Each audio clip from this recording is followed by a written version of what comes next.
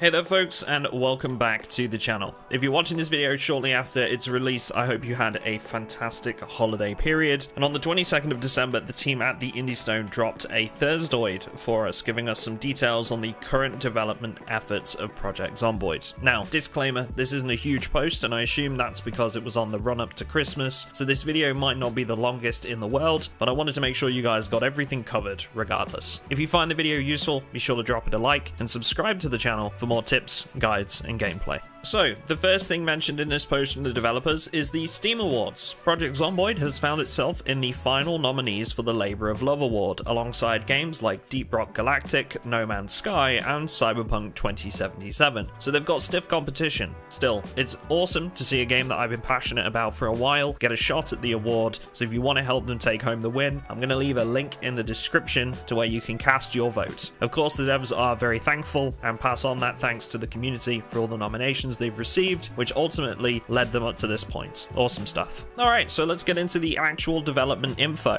A lot of the devs are away on Christmas break at the time of the blog article being written, however, there is still some stuff for us to share. In preparation for real actor recorded body sounds, things like physical exertion sounds when climbing or pushing things, Matteo has recorded his own voice to get a feel for what might be required. The idea is to keep them subtle to match the perspective and consideration that the player doesn't want to be heard by zombies in the nearby area. So right now, they aren't too over the top. The devs mentioned they might want to change their approach with this in the future, but it's interesting for them in the meantime to consider the audio and what it could bring to the game in the way of immersion. We got a couple of video clips for this one, so I'll let those play for you guys now. And once again, keep in mind these aren't from a professional voice actor and for now are just a proof of concept. They are not final.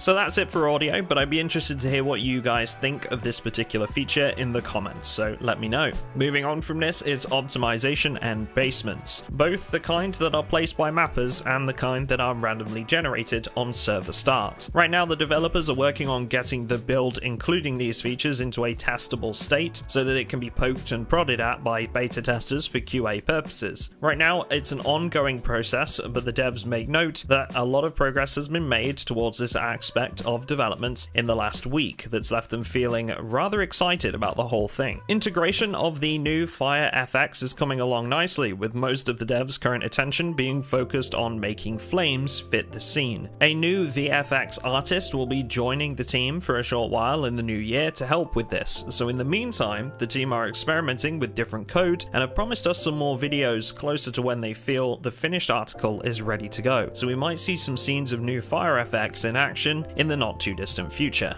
As covered in the last dev blog, Blair is working on a whole host of things at the moment, but is currently very pleased with some work on a loot log, which he's asked to be advertised in this dev blog for the benefit of modders. This is essentially a dev and modding tool that once activated, logs every item that spawns around the player, rather than waiting for the player to find them via gameplay. Info that is logged using this tool includes a list of items, the room definition of where said loot has spawned, the container type that it has spawned in, and the coordinates of said item. Whilst this might not affect your average player directly, I want to take this opportunity to highlight how big of a help this could be. We've all played on modded maps in the past or hosted servers with them where the loot spawns haven't really adhered to what we thought they would or have spawned items incorrectly. This should help knock those instances out of existence in future and stop a good map being ruined by bad loot spawns. Alongside this, Blair has also been working with the improved profession houses that can spawn loot related to a certain skill like electrical or mechanics. The plan is for these houses to have cars, new weapons, new zombie stories, and filler book items that might match the profession the house has been allocated. It should help with environmental storytelling and makes the world feel a little bit more fleshed out. There's also some more 3D items and all sorts of new foods on the way from Blair, although it's not hinted at what kinds we can expect in this blog post at all. On RJ's side of things, animals have entered initial testing, which is incredibly exciting to hear. The devs note that it made for some fun first aid bugs as well as a lot of cooing over cute baby animals from testers. They note that it's incredible what life non-human and non-zombie animated creatures suddenly bring to Project Zomboid when you encounter them. So I'm looking forward to experiencing that for myself, as I'm sure many of you guys are too. There's a couple of fun bugs that are included in the blog post itself, including this image of chickens that started with just five chicken eggs placed on a wooden floor. This resulted in a house full of roosters. Chickens apparently also learned to open doors, and a second image shows a piglet horde that was spawned by their incredibly fast breeding rate. So there's some tweaking and fixes to be applied, but hopefully things are at least on track for the developers, and there's no mention of any impacts on performance in the dev post, which is good news, I suppose. So that's it from me in this one. Short and sweet, I'd say,